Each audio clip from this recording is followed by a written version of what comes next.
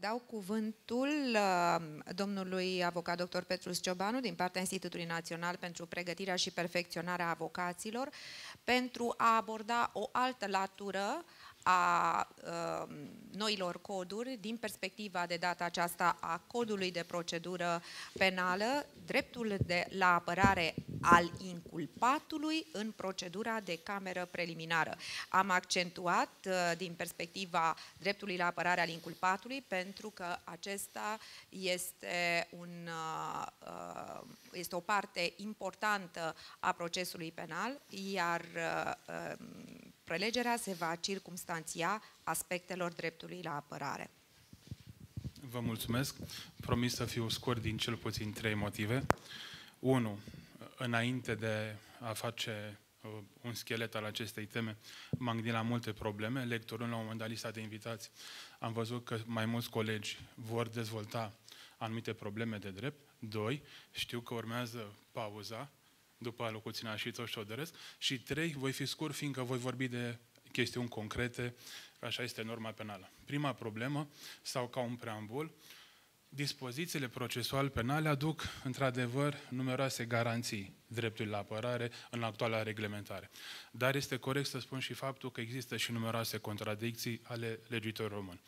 Voi face câteva observații, urmând ca în perioada în care este lăsată pentru dezbateri să le dezvoltăm și fără să intru în alte subiecte care vor dezvolta colegi. Prima problemă de drept și prima observație pe care vreau să o fac, articolul 3 din Cod de Procedură Penală vorbește de cele patru funcții judiciare și le definește pe larg pe toate.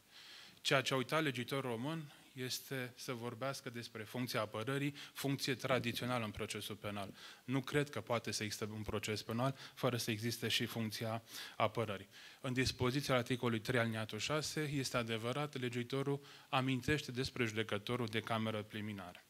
Articolul 8 Cod Procedură Penală care se referă la caracterul echitabil și termenul rezonabil al procesului penal obligă organele judiciare, ca în desfășurarea procesului penal, și aici se referă la faza de urmărire penală și judecată, să există garanții procesuale pentru respectarea drepturilor la apărare a părților. Nu vorbește nimic legiuitorul de procedura de cameră preliminară.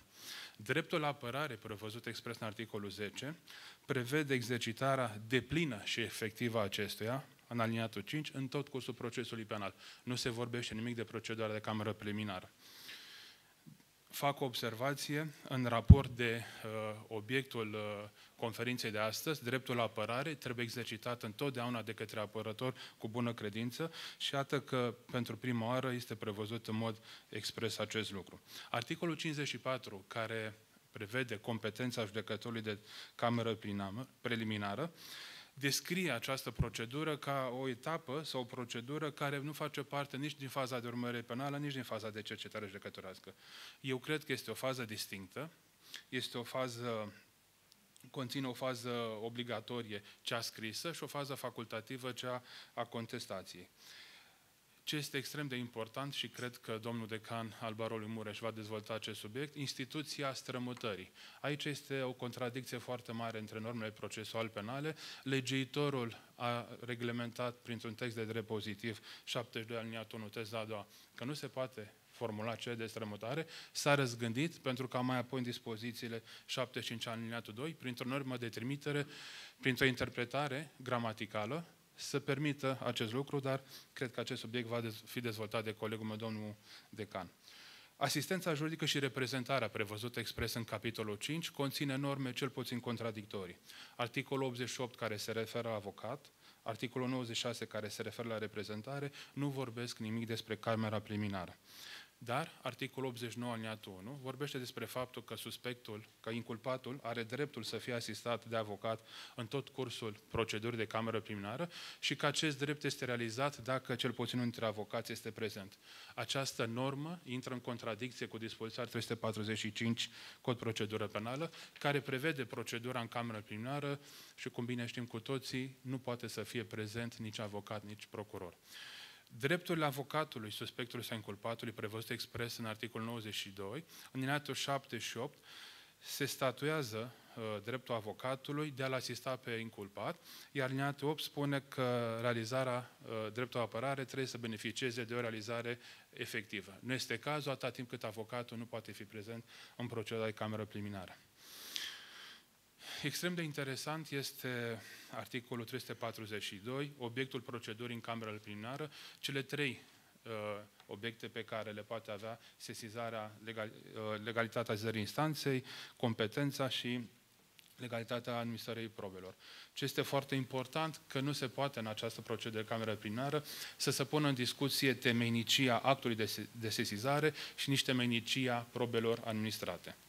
Durata procedurii de cameră plenară, legiuitorul stabilește un termen maxim, spune că nu poate fi un termen mai mare de 60 de zile, dar nu prevede niciun fel de sancțiune pentru acest lucru. Este un termen judiciar, iar eu uh, cunosc uh, o parte din practica judiciară a instanțelor de pe raza Curții de Apel Brașov, situații în care acest termen a fost depășit, fără să existe nicio sancțiune, Cred că legiuitorul trebuie să fie riguros atunci când prevede un termen maxim, trebuie să prevadă și o sancțiune, fără să fie un termen de recomandare. Există dispoziții contradictorii în ceea ce privește uh, măsurile premergătoare, reglementate expres în dispoziția 344 Cod Procedură Penală. Se specifică acolo că inculpatul are dreptul să-și angajeze un avocat și poate să formuleze cereri și excepții cu privire la legalitatea administrării probelor și a efectorii actelor de către organ de urmăre penală. Din interpretarea normei juridice rezultă că inculpatul nu poate să formuleze excepții cu privire la competența instanței de judecată, cu privire la legalitatea și regularitatea sesizării instanței din dispozițiile la 345 aliniatul 2, rezultă că aceste lucruri pot fi invocate doar din oficiu de către instanța de judecată. Termenul stabilit de către judecător pentru invocarea acestor cereri excepții este de 20 de zile sau legitorul formulește sintagma tehnico-juridică, nu poate fi mai mic de 20 de zile. Din păcate, în practică a creat foarte multe probleme.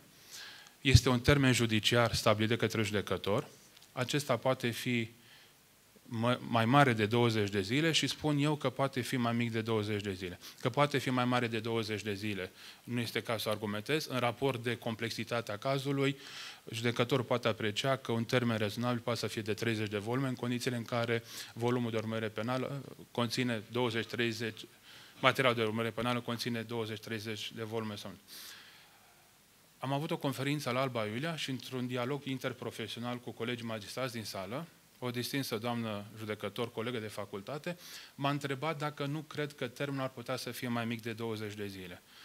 Răspunsul meu inițial a fost că nu poate, fiindcă norma spune că nu poate fi mai mic și să protejeze interesul avocatului. Am stat și m-am gândit după aceea și astăzi spun că poate să fie mai mic. De ce? Fiindcă nu este un termen de decădere, nu am nulitate relativă dacă îl încalc și am găsit și o situație în care acest termen poate să fie mai mic. Imaginați-vă că sunteți avocați într-o cauză clientul dumneavoastră vrea să recurgă la procedura de recunoaștere a vinovăției. În această situație nu are niciun interes procesual să invoce cereri, excepții, iar durata acestei proceduri în cameră judiciară 60 de zile, după care alte 60 de zile, dilată durata procesului penal.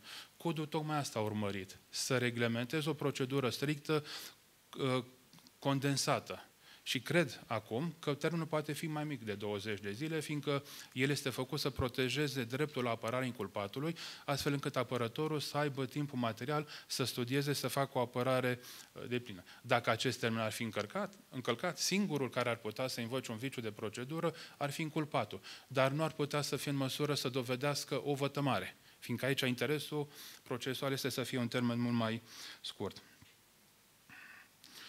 O chestiune extrem de interesantă este prevăzută de legiuitor atunci când judecătorul în procedura de cameră preliminară înțelege din oficiu să invoce excepții. Toate aceste excepții care sunt consemnate în încheierea de ședință se comunică din oficiu parchetului, dar nu și inculpatului. Procedura în cameră preliminară, prevăzută de articolul 345 Cod Procedură Penală, nu permite participarea nici a procurorului, nici a inculpatului. Aici, că vreți, voi face o paralelă. și pronunțarea soluției se realizează în Cameră de Consiliu, fără să participe nici procurorul, nici inculpatul. Cred că pentru aceleași rațiuni, pentru aceleași motive de fapt și de drept, și acest text va fi declarat neconstituțional în curând, așa cum a fost declarat neconstituțional uh, articolul 345 aliniatul 5, cu privire la pronunțarea în Cameră de Consiliu în cazul plângerii soluționate de judecătorul de Cameră Plinară. Din toată reglementarea aceasta cuprinsă în dispoziția 342-346, cred că asistarea și reprezentarea juridică în procedura de cameră preliminară nu este posibilă. Avocatul nu asistă inculpatul, avocatul nu reprezintă inculpatul în procedura de cameră preliminară, ci pur și simplu se mărginește doar la exercita drepturile procesuale ale inculpatului. Nu poate face o apărare efectivă atât când nu este prezent. Mai mult decât atât, cred eu că lipsa contradictorialității în ceea ce privește obținerea și administrarea probelor determină sau imprimă un caracter ineficient acestei proceduri. Mai mult decât atât, mergând pe acest raționament, cred că lipsa participării procurorului și a inculpatului în această procedură lipsește de eficiența această procedură în camera preliminară. Nu vreau să fac analogia anilor 52-57, când această procedură a mai existat și s-a abrogat, nu cred că este cazul să se abroge procedura, dar cred că este cazul să fie modificată legislativ cât mai curând, pentru că acest filtru, care este camera uh, preliminară, să aibă o eficiență. Și dacă vreți, în încheiere, în raport de ceea ce a spus doamna președintă judecătoare Ida Popa, eu afirm că există o legătură directă profesională între activitatea magistraților și avocaților. Și am și o dovadă în raport de nou cod de procedură penală. Legiuitorul român a considerat oportun să renunțe la, lips, la rolul activ al instanței de judecată. În prezent, judecătorul nu mai poate să aibă rol activ într-un proces uh, penal. Cred că renunțarea la rolul activ al instanței de judecată a determinat în mod cert, în concret, ca o consecință majoră, renunțarea la rolul activ al avocatului în această procedură de cameră preliminară. Vă mulțumesc, dacă va fi nevoie, voi răspunde la întrebări în cadrul dezbaterilor. Am încercat să mă înscriu în cele 15 minute acordate. Mulțumesc respectuos.